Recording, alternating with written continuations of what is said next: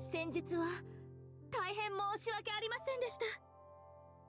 私個人の幼稚な振る舞いで関係各所に多大なるご迷惑をおかけしましたことは日々折に触れ思い返しその都度猛省している所存です。唐突な引退発言によるキャンセルそれにより皆様が被ったご迷惑の数々は察するにあまりあるほどです。けどここはあえてそこら辺全部忘れてもらっちゃいたいの。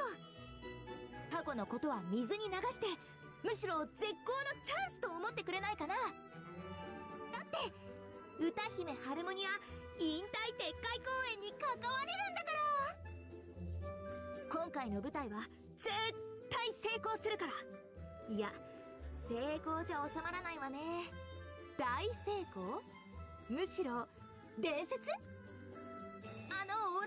行われた伝説の舞台に関わっていたんだって。未来永劫孫の代まで語り継げること間違いなし。こんな誇らしい名誉が他にあるかって話。どうお思い？そこのところ。なんでそんな成功する自信があるかって？そんなの決まってるじゃない。私が出て演じて歌うんだものこれ以上の大成功絶対安心保証なんて存在しない。しかも以前の私よりもさらに違う私を見せるから。絶対いい舞台になる。約束する。だからちょっとくらいお金出したっていいじゃない。悪いようにはしないか